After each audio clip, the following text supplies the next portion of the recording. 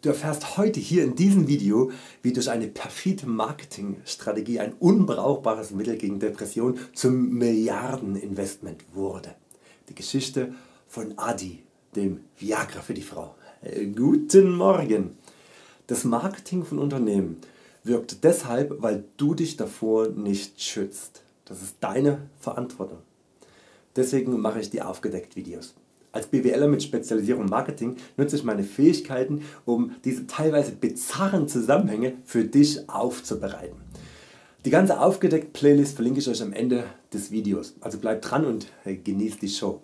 Der deutsche Konzern Boehringer Ingelheim entwickelte ein Medikament mit dem Wirkstoff Flibanserin um Depressionen zu bekämpfen.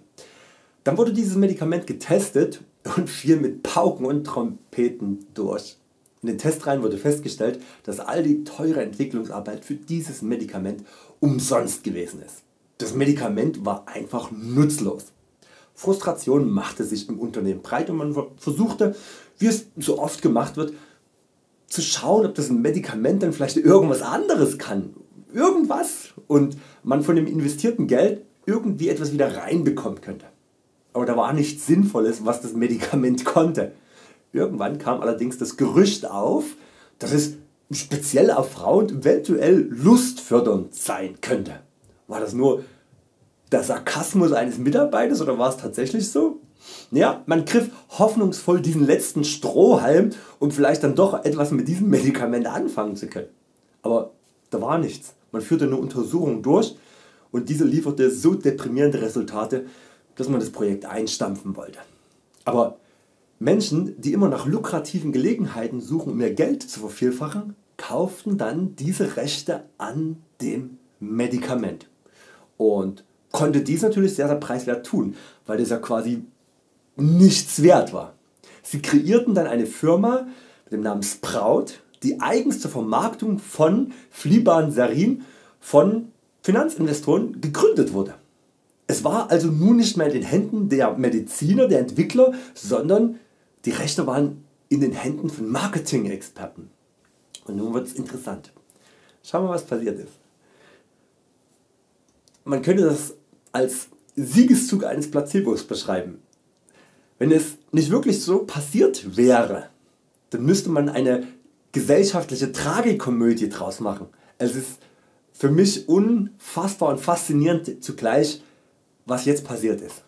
Also die Marketingstrategen Strategen, Strategen, also die Marketingstrategen setzten sich zusammen und man erkannte, dass zwei Drittel derjenigen, die das Manu Manual der psychischen Erkrankung herausgeben, enge Verflechtungen zur Pharmaindustrie haben. Manual der psychischen Erkrankung, was ist das? Das ist das, was, ja, wo geschrieben steht, welche psychischen Erkrankungen denn alles existieren. Und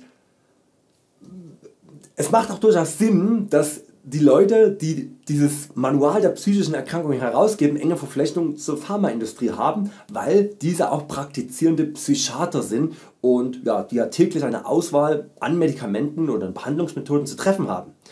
Naja, nun hat man es geschafft durch Initiierung von Social Media Kampagnen, Selbsthilfegruppen und Webseiten eine neue psychische Krankheit zu entwerfen, indem sich genug Menschen wiederfanden. Das war die große Herausforderung in erster Instanz, aber in den Zeiten von Social Media geht sowas recht schnell.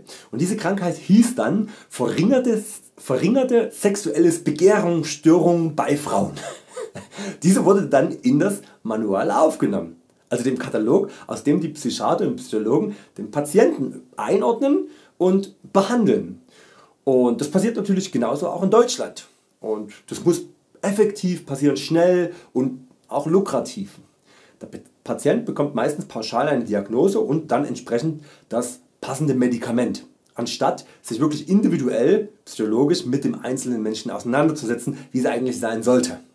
Es gibt natürlich auch Ausnahmen, aber im Großen und Ganzen auch aus den Gesprächen die ich geführt habe mit anderen Menschen ist es tatsächlich so, dass gerade Psychiater relativ schnell eine Diagnose von Latz knallen und dann quasi so ein Standardprogramm ja, ins Rollen bringen. Und da gibt es seitens der Psychiater auch so das Argument, ist keine Zeit dafür. keine Zeit dafür. Der schwarze Peter wird dann von den Psychiatern äh, ja, den Krankenkassen zugeschoben und diese wiederum finden dann die Schuldigen in gesetzlichen Regelungen und der Politik. Und, ja, und dann wird eben rein praktisch eine Behandlungsmethode gewählt oder eine Pille und analog dessen, was an Krankheit vorhanden ist, aus diesem Manual der psychischen Erkrankung. Das ist mehr oder weniger eine standardisierte Automatisierung. Ein nicht ganz unwichtiges Detail sollte äh, nicht unerwähnt bleiben. Bei der Abstimmung, ob die Krankheit in dieses Manual aufgenommen wurde oder, oder wird, stimmten 18 Leute dafür und 6 dagegen. Klingt recht deutlich, aber wenn man dann bei den 18 Menschen die 16 Menschen herausrechnet, die direkte finanzielle Beziehung zu diesem Investorenprojekt Sprout hatten, dann gab es von 24 Experten nur zwei, die diese Krankheit ernsthaft und objektiv in diesen Katalog aufnehmen wollten. Aber nun ja, dann war die Krankheit eben geboren und natürlich auch das passende Medikament. Entsprechende Studien waren auch kein Problem, weil das sexuelle Verlangen nicht messbar war und man es relativ einfach hatte, das Medikament als wirksam zu deklarieren. Weiterhin ja, stampfte man dann im Zuge dessen äh, eine, eine ja, emanzipierte Frauenrechtsbewegung aus dem Boden, auch Social Media, also im Social Media, die dann von heute auf morgen quasi in den sozialen Medien gegen das schreiende Unrecht auftrat, dass es bei Männern 26 Medikamente für sexuelle Störungen gäbe, bei Frauen aber gar keins. Und diese Gruppe und die Gründung ist eine direkte Initiative des Herstellers des Medikaments und das ist für alle auch ersichtlich gewesen und nachvollziehbar. Aber wer kontrolliert das heute? Ne? Und es ging nur darum, die Zulassungsbehörden, um das Medikament dann zuzulassen, nachdem sozusagen die Krankheit gegründet wurde, das Medikament dann auch offiziell zuzulassen. Und da ging es nur darum, diese Zulassungsbehörden unter einen gewissen moralischen Druck zu setzen. Seid ihr nicht etwa auch für die Rechte von Frauen? Seid ihr nicht für Gleichberechtigung? Welche offizielle Instanz kann in der heutigen Zeit von, von Frauenquoten und Gleichstellungsbeauftragten usw. So sich ernsthaft dagegen stellen, den Frauen das Recht auf eine gesunde Sexualität zu verwehren? Du siehst, wie unglaublich perfide und von großer Hand das Ganze gestrickt ist. Ich finde, man muss dann auch einfach mal rein marktwirtschaftlich den Hut ziehen. Da steckt viel Arbeit drin, richtig viel Arbeit und natürlich auch viel Investment. Aber umso größer die Summe, umso größer auch die Hebel. Da bringen auch aufkeimende wissenschaftliche Arbeiten die sich kritisch mit diesen Flibanserin auseinandersetzen, wie das von Walid Gellert, die ich euch auch unten in den, äh, in den Quellen verlinkt habe, die bringen dann nichts, weil sie nicht dieses Geld im Hintergrund haben, was das pushen kann in den Medien. Ja? Weil die Geldmaschinerie in Verbindung mit den sozialen Medien erstmal in Gang gesetzt ist, da ist die Wahrheit sekundär.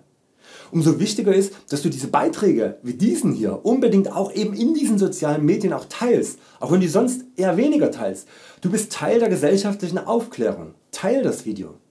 So ein Daumen fürs Video ist immer schön und diese Informationen äh, zu, zu wertschätzen, indem man mir das zeigt, auch wunderbar. Aber das Teilen ist wichtig, damit der gesellschaftliche Geist aufgeklärt wird.